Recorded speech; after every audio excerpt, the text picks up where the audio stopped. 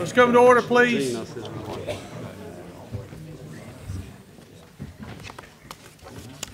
Good afternoon. For the record, the media has been notified in accordance with the requirements of the Freedom of Information Act and appears the quorum is present.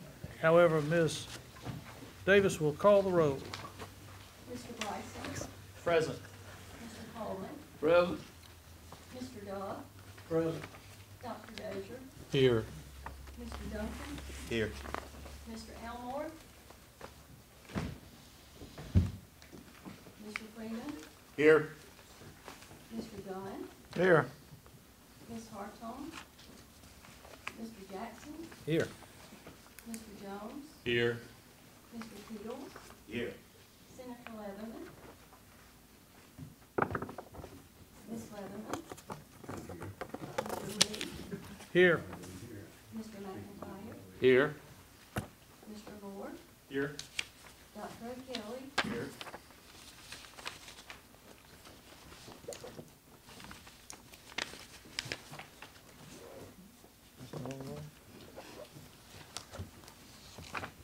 Kim, did you get Chairman Leatherman? I certainly do. Okay.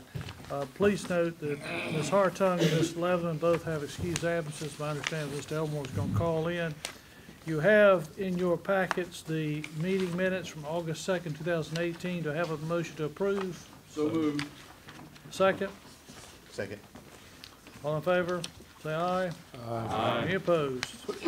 We now go to the committee reports. Executive Affairs met this morning. We have one resolution, which is Resolution 11-18 for the naming of the Farrah Turner Park. Um, I'll read this for, for purposes of the whole board. Whereas Farrah Maxine Turner was a distinguished alumna of Francis Marion University, class of 2005. And whereas Investigator Turner was a devoted and skilled officer with the Florence County Sheriff's Office, we- who continued her education with the Florence County Sheriff's Office and rose to the rank of investigator. And whereas Investigator Turner lent her skills, experience, and abilities to the challenging and vital area of criminal sexual investigations, and whereas Investigator Turner was recognized by the Florence County Sheriff's Office in 2016 as the Florence County Sheriff's Officer Investigate, Investigator of the Year, and whereas Investigator Turner gave her life in performance of her duties while working to protect victims of sexual abuse, and whereas Investigator Turner lent considerable hours of her off-duty time to assist entities across Florence County, including public schools, school organizations, Delta Sigma Theta sorority, and whereas Investigator Turner was a devoted sister to her brothers, Farrell, her twin, and Ronald, to her half-sister Bridget, and her half-brother Nicholas Lee, and was a loving daughter to her mother, Katie Godwin, and whereas Francis Marion University desires to acknowledge the contributions of and the ultimate sacrifice made by Investigative Turner to the state, the university, and to the community with a permanent tribute, be it therefore resolved, the Board of Trustees for Francis Marion University hereby names the fountain and garden in the midst of the Forest Villa Apartments, the Farrah Maxine Turner Park.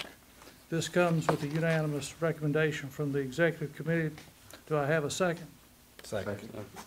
Having a second, all in favor say aye. Aye. Any opposed?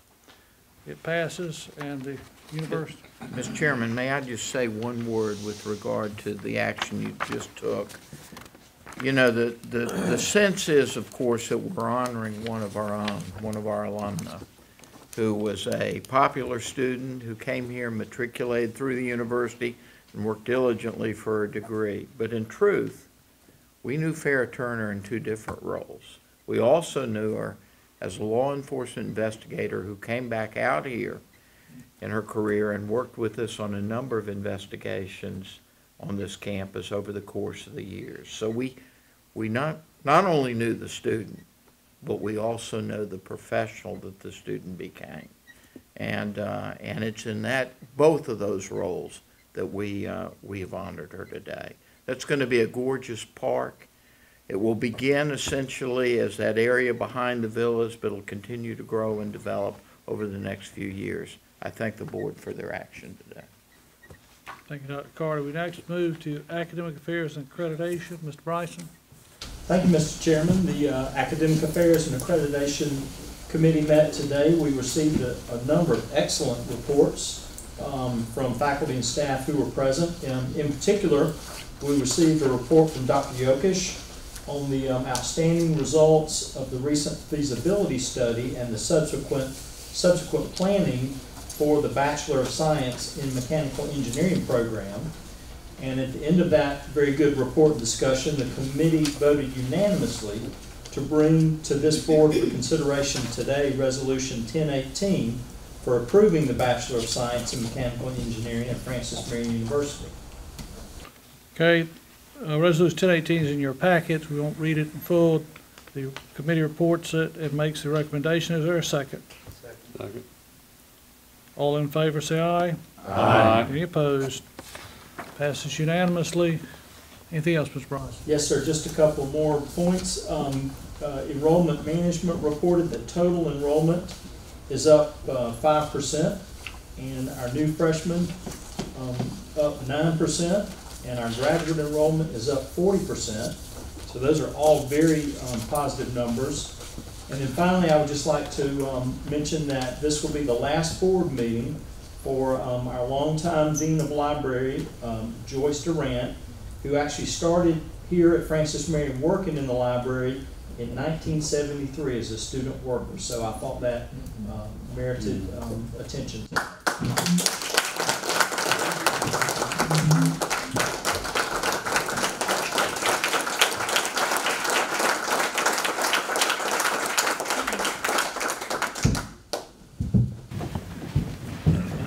Say she is retiring. Mr. Chairman, that concludes my report. Any question, Mr. Bryson? Hearing no question, Mr. Bryson, we move on to Development and Alumni. Mr. Moore. Thank you, Mr. Chairman. We had a wonderful meeting this afternoon. Uh, All committee members were present. Uh, Just a few points we'd like to share with the board. Uh, The FMU Educational Foundation has initiated the First Generation Fund. Uh, Communication is underway and will continue for the months to come. Initial donations are already being received. Uh, Also, the FMU Alumni Association is planning numerous events during the coming months, including the 2019 Homecoming, Alumni Awards, departmental alumni receptions, regional alumni receptions, and Patriot alumni luncheons at major employers. And finally, the fall season at the PAC kicks, kicks off and has had successful performances with the Nitty Gritty Dirt Band, Mary Chapin Carpenter, and Kris Kristofferson, as well as numerous other performances and activities. The next show is A Christmas Carol on December 13th, so we hope to see several members here. And that concludes our report. Any questions for Mr. Moore? Hearing no questions, Mr. Moore, we now go to Financial Affairs and Facilities. Mr. Gunn. Thank you, Mr. Chairman. We had an excellent uh, Finance Committee meeting today, and I'll just hit some of the high points that we had. That the, first of all, the university has completed the uh, audit for 2017-18, which each member has been provided a copy of. The uh, audit was uh, submitted in a timely manner to the Controller General's office as required by law. There were no findings in the financial statements, and the audit firm proposed no adjustments. I will point out that uh, Mr. Kispert indicated to us that there will be an RFP issued this year for uh, a new audit firm as the uh, current firm has been uh, performing this audit for quite some time. They've done a wonderful job, but it's common practice to move on to other auditors after a period of time. So that'll be for a three-year period that'll be coming up uh, the next time the audit starts, which will be in uh, August or September of next year. Uh, Federal grants were audited in accordance with federal regulations, were given a separate opinion by the auditor required under the current guidelines. There was uh, an unqualified opinion, uh, but there was one compliance, minor compliance finding related to student financial aid, uh, but that has been corrected and going forward, and uh, that's all there was to that. Uh, For the budget summary, this summer two revenue was $817,000 uh, 19.1 million or 100, uh, over 100% of projection of fall revenues been received. Um, General funds were already uh, budgeted or expended so far with 29%, which is in line with the expected percentage. And the employee head count that we have currently is 502, with FTEs at 448.1. Our four-year change, this is important to remember, four-year change is only nine additional uh, staff was employed and during that four-year period, so uh, that's a, that's a good thing. Uh, Perkins loans that you may be familiar with have been discontinued, uh, but they've moved on. We have a sizable increase in Palmetto Fellows this year of eighty-five thousand dollars, and total financial aid for the campus is fifty-two point three million dollars. That concludes our report, Mr. Chairman. Questions, Mr. Gunn? Hearing no question, Mr. Gunn, we now move to student affairs and athletics. Thank you, Mr. Chairman. Uh, Again, the meeting was uh, exciting. I I can't really tell you uh, the enthusiasm, especially of our student body president. Uh, She is going to leave some big shoes to fill. If you have met, not met Ms. Brown, I strongly recommend you, uh, you meet Ms. Brown. Uh, She, uh, she had a nice report. Uh, If you'd like to hear, hear the whole thing, you know, we'll be here a few more minutes, but uh, it's amazing what's going on with SGA. Ms. Ramey talked about some of the things that are going on in student affairs, uh, Senior Night at the college. Uh, This leadership uh, FMU program uh, is in its tenth year, and so on November the nineteenth at five-thirty, there will be a celebration of its uh, ten years of successes. Um, Some awards will be given out, especially the Leadership uh, Legacy Awards. Um, Again, uh, Mr. Murray had an informative report, uh, exciting report from athletics. Uh, 14 uh, students made academic All- All-American from Francis Marion. That's up from 10 last year. Uh, They had 30 student athletes on the Athlete- Athletic Directors Association Academic Achievement Awards uh, for last year. Uh, 98 students were named to the Peach Belt Presidential Honor Roll. Uh, The uh, men made it to the semifinals in soccer. The uh, women's volleyball made it to the quarterfinals. Uh, The women uh, uh, played last Tuesday night and and won over uh, 21 ranked Wingate. And men's basketball is one and one, and there's a game tonight at 6 o'clock. And I have a lot of other notes, if you, again, if you want to Mr. Chairman, before he leaves, could we introduce the student body president? I don't think she was here the last meeting. Let's And the it. fact that she's a Waccamaw High graduate from Georgetown County has nothing to do with it. Dr. Dozier, why don't you do that, please? Uh, Ms. Connor Graham, where, I stand up and let everybody see.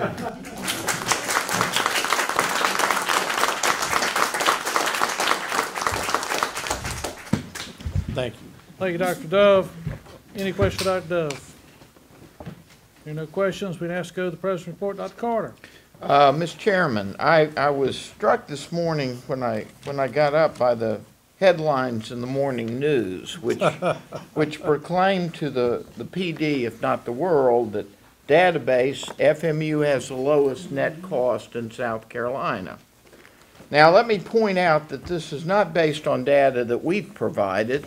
This is based on the state newspapers compilation of data on what the actual cost is of attending universities, both public and private, across South Carolina.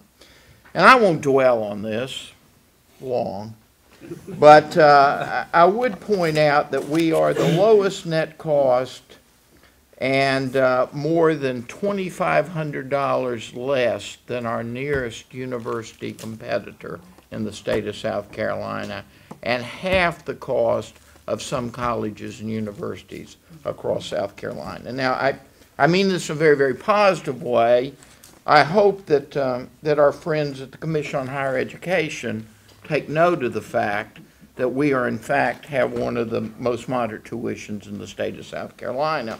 At the same time, we offer one of the most quality educations in the state of South Carolina.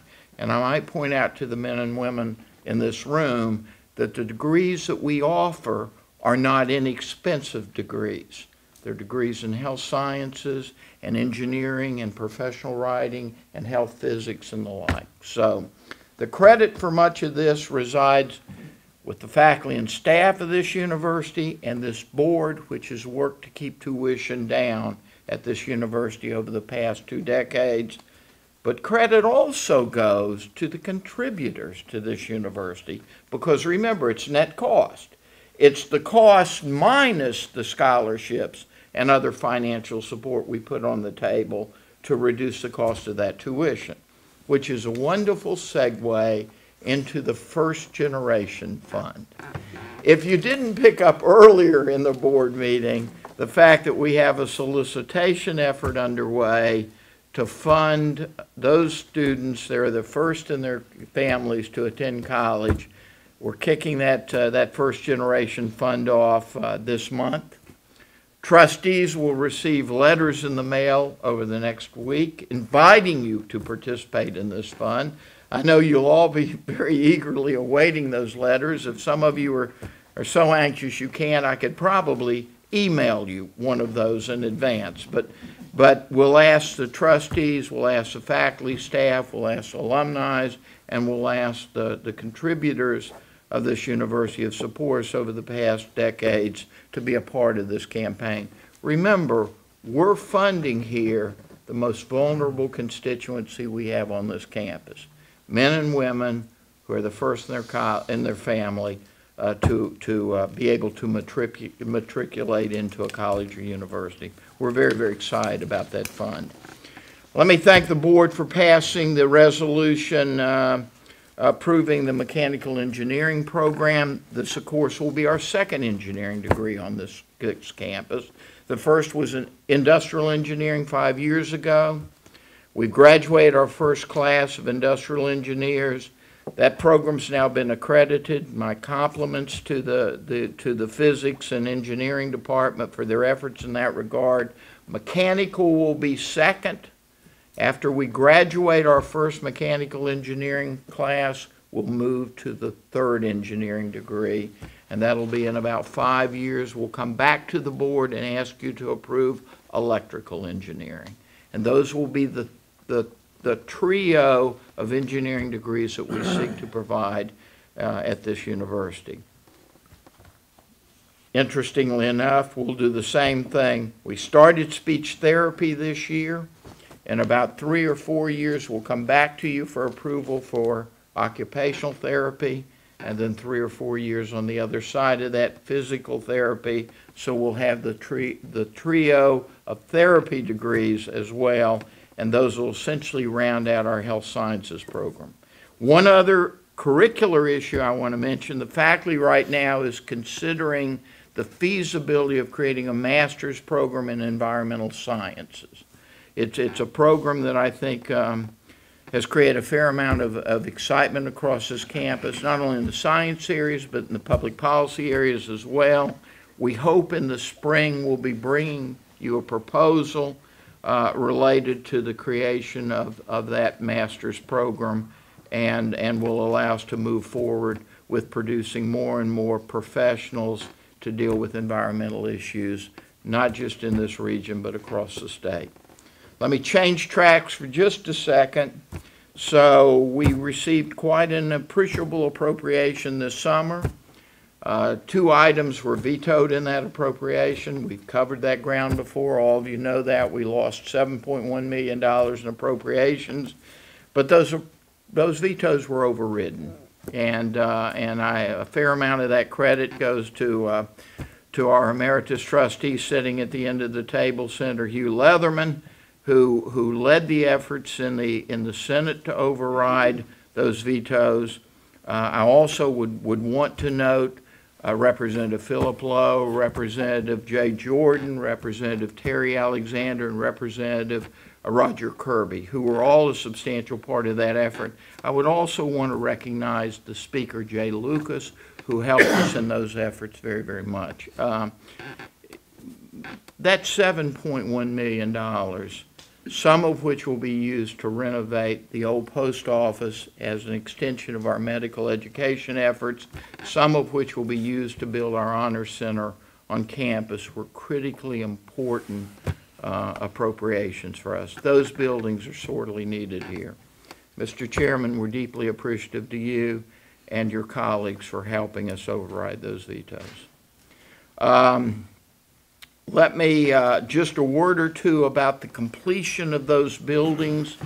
So if all goes well with the post office, we should have that building fully renovated and be able to move in that building between the fall of 20 and the spring of '21. The Honor Center, a little earlier, we should be in the Honor Center by the summer of '20. And, uh, and hopefully be able at that point to move our honors programs, our international programs, and our McNair Center into, into those facilities.